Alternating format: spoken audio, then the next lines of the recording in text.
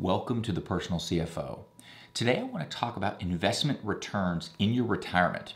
And I think most people focus on the rate of return that you get on your investments. And what I want to talk about is something that's incredibly important and not the rate of return on your investment, but when you get the return on your investment. So when do you get positive returns? When do you get negative returns? Can have a huge impact on the success of a retirement income plan. So I want to use an example and this is starting with a million dollars and taking out $50,000 a year. And you can double these numbers, you can add a zero, you can do whatever you want to do, but the numbers stay the same or the outcome is the same. So starting with a million dollars, taking out $50,000 a year and adjusting it for inflation. So 50,000 is going to go up every year because things will cost more over time. I want to talk about two portfolios.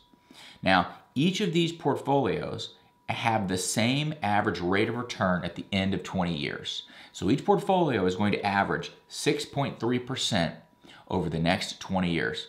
Now, we're not here to discuss this 6.3% high or low. It's just this is the rate of return, and we're going to talk about the timing of returns and how it can impact the ending value of your portfolio.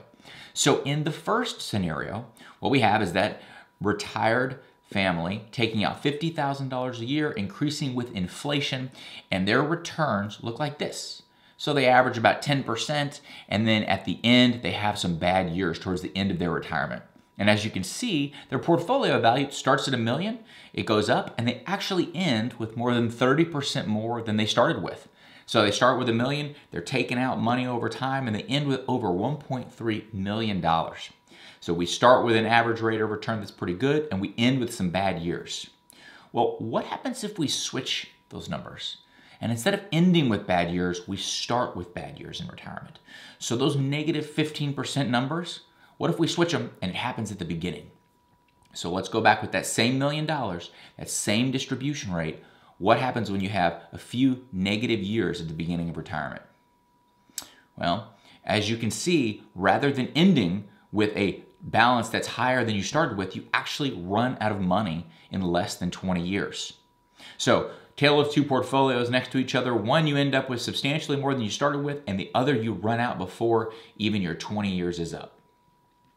And what is the reason for this? It's called the sequence of returns risk.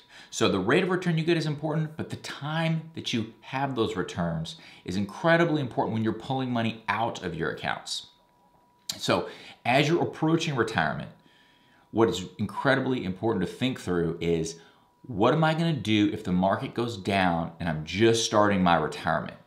And the reason that you need to know that is you need to know where you're going to pull when the market goes down so that way you don't have this scenario because that's the reason that a million dollars drops so quickly is because you're pulling money out and you're selling when it's down which is the opposite of what we should be doing, which is buy low, sell high. Taking distributions out of a down portfolio causes us to effectively sell low, which can be catastrophic for a portfolio. So if you're approaching retirement or just getting started in retirement, make sure that you're protected from down years and you know where you're going to get that money. Have a written retirement income plan so you don't have to worry about being the portfolio that runs out and you know where you can get those funds so you have safe dollars that are always accessible, even in down markets, which always happen. So the rate of return that you get is important, but when you get those returns, especially as you approach and are in retirement, is just as important. I hope you found this helpful. Thanks for investing your time at the Personal CFO.